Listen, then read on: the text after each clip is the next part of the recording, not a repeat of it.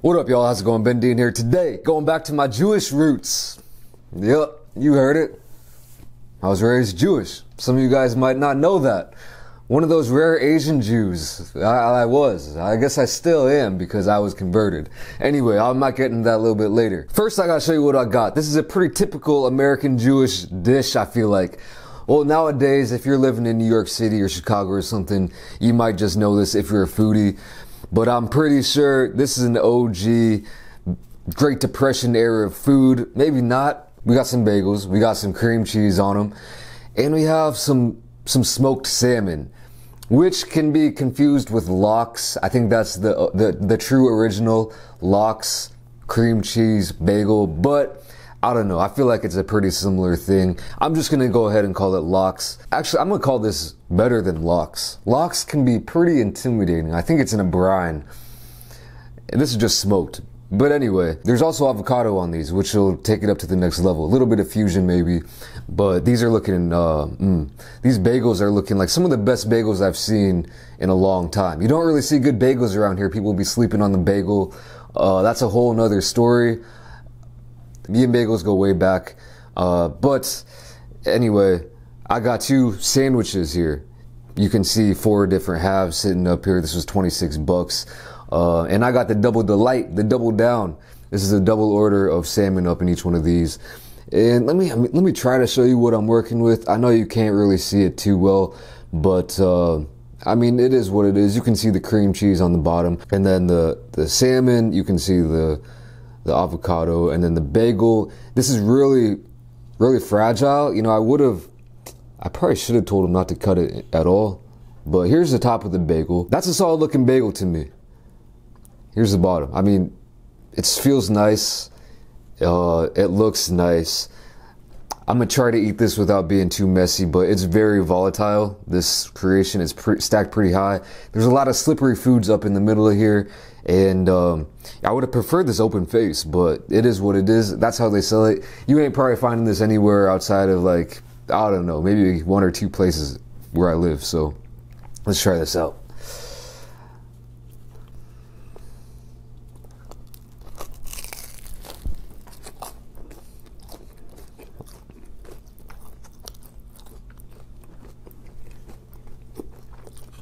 That's what happens, but wow. Wow, wow, wow. I haven't tasted anything resembling this flavor in a long minute.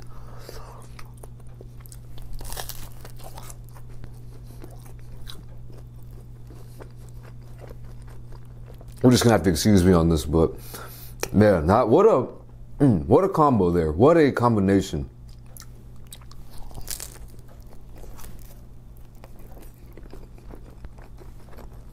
Mmm. Mmm. There. Mmm. Some more of that cream cheese in there. And that's that's where it really kicks in. Instant classic.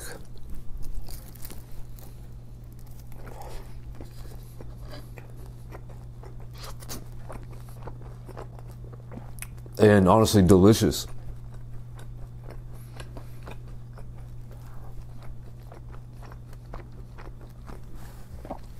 I'm not a. I, I haven't had lox a whole lot of times. I, I never really liked it growing up. I only had it, you know, when it was around, and it wasn't really around me that much. Uh, but I didn't. I remember it being a little bit intimidating for me. This, from what I remember, this smoked salmon here has a, a very similar flavor.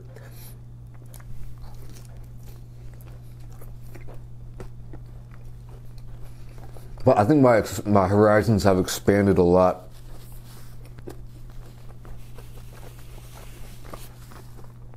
since I was a young lad, and um, and yeah, I can I can see I can see now. My eyes are open. And yeah, man, I wish, ooh, man, I wish I would have really given this a chance earlier because this is mighty fine. Such a simple thing. The crusty little bagel. You got to have the good bagel. None of that. None of that. No brand.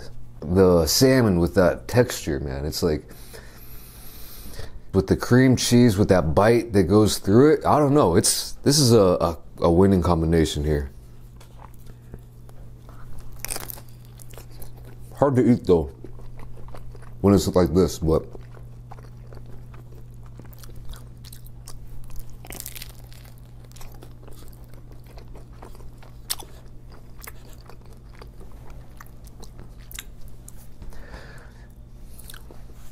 You don't think that, that fish and cheese really work. Some people say that they don't, but I say that they do. I do say that. So you're saying you're Jewish. Well, technically, yeah. I was converted to Judaism after I was adopted to America. Fresh off the plane, maybe. I can't really remember. No, I think I was probably like a little bit. I don't know. It might have been fresh off the plane.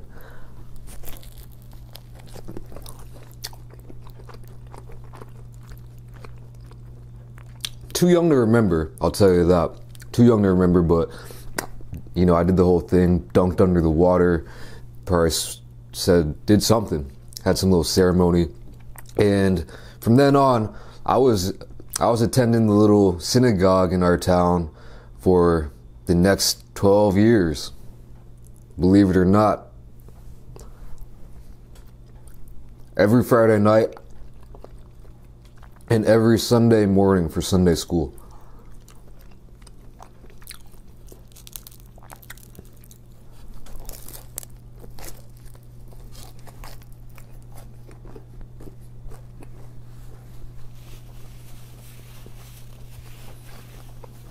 I don't think there was any kid that was my age. There was some kind of uh, a year older, a year younger. I don't think there was anyone in my grade. But there's probably like five, ten kids that went there. So it wasn't really, you know, I wasn't really mingling, commingling with the the fellow peers. Uh, in total, it was this very small congregation, and me and my bro were the only the only Asian ones, so we are holding it down. You don't really see too many Asian Jews, man. I, like I said, I don't know if I've ever seen one besides my brother. Although it's weird. The more you go out and meet people and tell them about yourself, the more you hear, like, I met a guy, I was pretty good friends with this guy in Korea. He moved back to America, but he was telling me he had a good friend uh, in America who was also adopted from Korea, who was also Jewish, which that kind of blew my mind. Like, damn, that's, I didn't know there's anyone else out there like me, you know, besides my bro.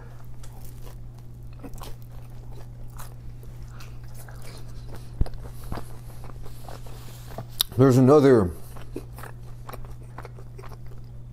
small coincidence. One of my old, he was like, a, I guess I'll call him a coworker,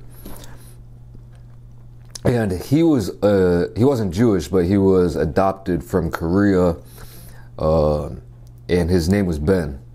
So that was another little coincidence there, which, I mean, if you stay in in, a, in my hometown your whole life, you won't really you won't find these people, but Got to branch out a little bit.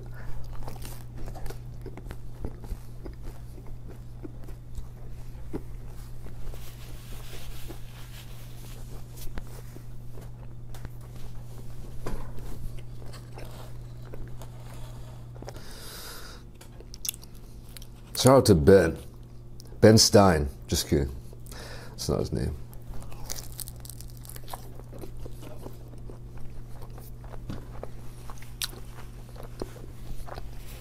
But um, I'll expand a little bit more on my. So I was like, you know, if you if you're not familiar with Judaism at all, then uh, you might not know about the bar mitzvah, the bat mitzvah for boys and girls. I think it's a pretty common thing though in American culture. You, you should know about it. It's basically like the coming of age for Jewish people.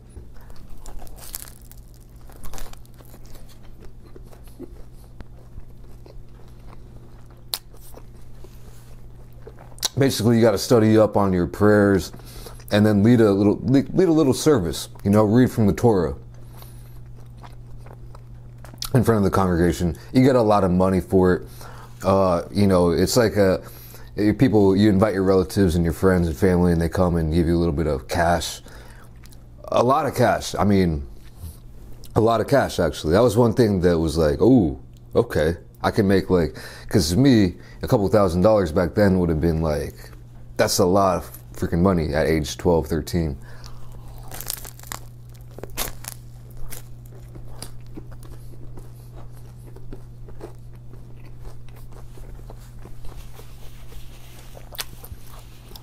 So I got I got into the study mode just because like, well, who's gonna pass up on that cash, right? Even though that it's not really me, it's not me doing that. I don't really at that point in time, I wasn't really believing. I, I didn't believe since a young age. To be fair, I want to say around age 11 or so is when I or 10 maybe. I'm like, you know what? I don't know about it something doesn't seem right with these stories that I'm hearing uh, and these customs that I'm for, being forced to follow.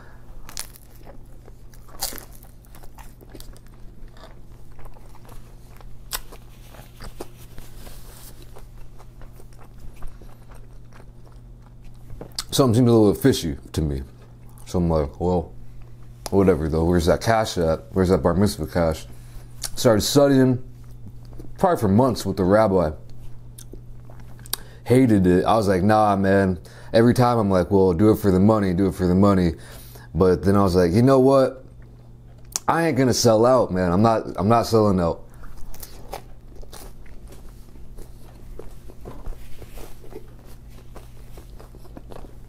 And like maybe halfway through my studying, I'm like, no. I'm like, nope.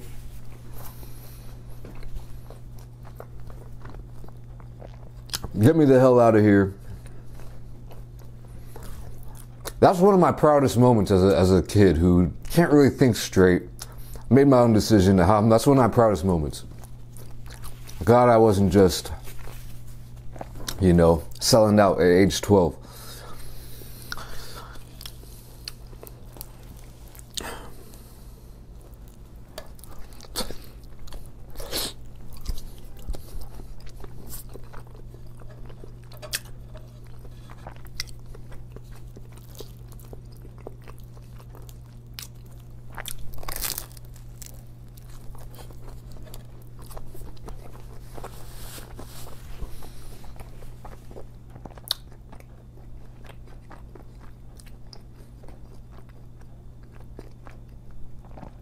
So, so growing up, if you're wondering, I did we did a little bit of Hanukkah, and we did a little bit of Christmas. That was one thing that really was a little bit different for me compared to the other kids. Uh, I did do Passover. Oh yeah, I, I had to do Passover. So I remember the kids at school, you know, eating their their bread, and I can't have no bread. I'm like bringing matzah to school or something. Like man, that was that was pretty insane. But matzah if you never had matzah, not really worth looking into, but.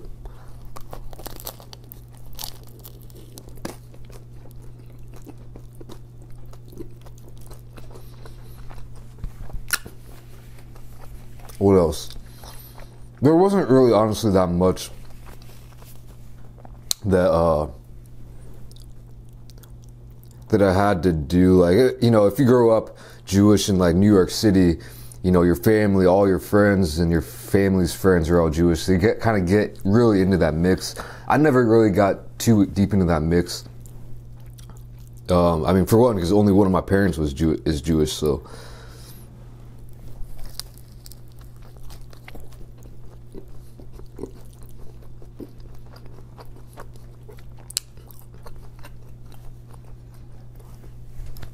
I'll tell you some good foods though that I would recommend. Latkes, latkes, different pronunciations of it.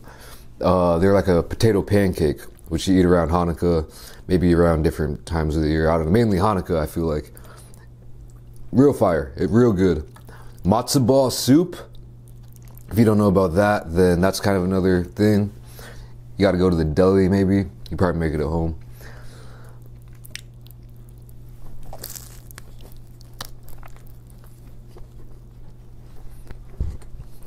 Such a messy eat. I hope at least something's entertaining for y'all here. Uh,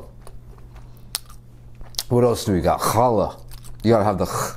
It's a good solid bread um, that is typically eaten by Jewish people. Gefilte fish. I used to like gefilte fish as well. Weirdly enough, I, I think we ate that around uh, Yom Kippur, Rosh Hashanah, and that was uh, a lot of people's worst nightmares. But I kind of liked it low key. Didn't really tell nobody though, but I'd always gobble it up.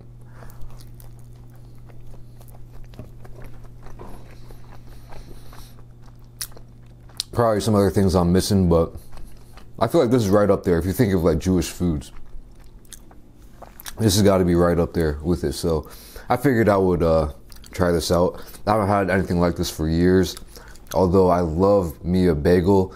Unfortunately, I probably won't have any time to talk about bagels because I could go on a long rant about bagels in general.